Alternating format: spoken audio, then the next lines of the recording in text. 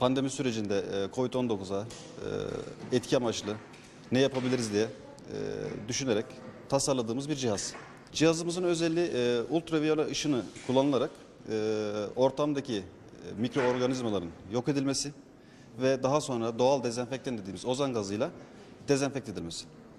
Uzun bir süreçten geçti. 5 aylık bir süreç. Bu süreçlerde değişik modeller geliştirdik. E, En son e, geliştirdiğimiz bir modelimizi e, laboratuvar test onaylarında alarak, e, uygunluk belgelerini de alarak e, seri üretime başladık. Mesleki ve Teknik Anadolu Lisesi'yiz. E, Buna bağlı olarak öğrencilerimize ve kendi okulumuza örnek olmak adına başlattığımız bir projeyi e, bir anda e, bizim de tahmin edemediğimiz bir sektöre yayılmaya başladı.